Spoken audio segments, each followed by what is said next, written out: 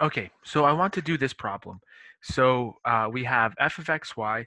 This is going to be a vector field. We have a curve here. This is a smooth curve, and we want to compute the, the line integral of f over this curve. Now, we know how to do that. We could just do the formula that we know to use, uh, but instead, I want to use the fundamental theorem of line integrals.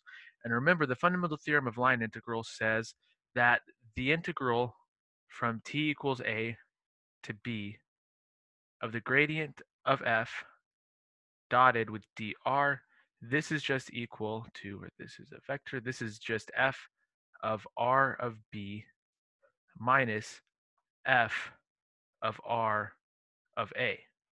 Okay, so to do this problem, notice that I give you the vector, but I don't give you the potential. So if we want to use the fundamental theorem of line integrals, we have to come up with a little f such that the gradient of little f is equal to big F. Now, in the coming videos and lectures, we will come up with a systematic way to do this, but now let's just take a guess.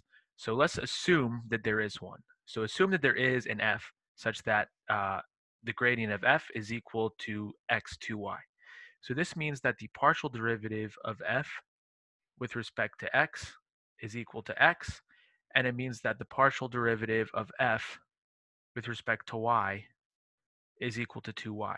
And so now we just need to come up with the function whose partial derivative is equal to x and whose, or sorry, whose partial x derivative is equal to x and whose partial y derivative is equal to y. And if you think about this for a little bit, the most obvious choice, the most obvious choice, now this doesn't always work, but the most obvious choice is just to add an anti an antiderivative for this to an antiderivative for this. So the, the so the kind of basic antiderivative for x is just x squared over 2. Whoops, let me erase that stray mark. So the guess should be that this is x squared over 2 plus an antiderivative for this, which is y squared. Okay, now is it true that the gradient of this is equal to x to y? And well, if you take the derivative with respect to x, you get uh, x, and if you take the derivative with respect to y, you get 2y. So in other words, yes, the gradient of f is equal to f. And again, that's because the partial derivative of f with respect to x is equal to x, and the partial derivative of f with respect to y is equal to 2y. So this tells us that f is conservative, big F is conservative, and the potential function is little f. So big F is equal to the gradient of little f.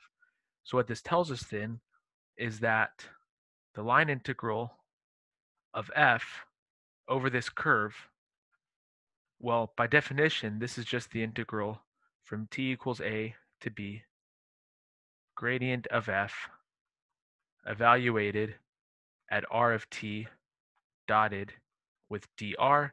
And by the fundamental theorem of line integrals, this is just f of r of b minus f of r of a. Okay, but in this particular problem, we know what b and a are we know that b is equal to 1 and a is equal to 0. So this is so this is uh, 0 to 1. So this is f of r of 1 minus f of r of 0. Well, what is r of 0 equal to? r of 0, you just plug in t is equal to 0. So t is equal to 0. The first component is 0, and the second component is sine of 0, so that's also 0. So f of uh, r of 0 is 0, 0. r of 1, well, the first component is going to be 1 because that's t.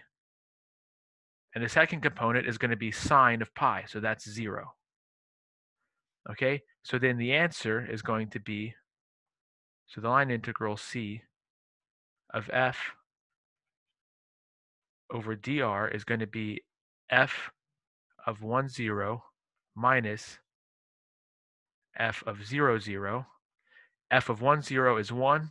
f of 0, 0 is 0. So this is just equal to 1. Okay, uh, sorry, f of 1, 0 is 1 half.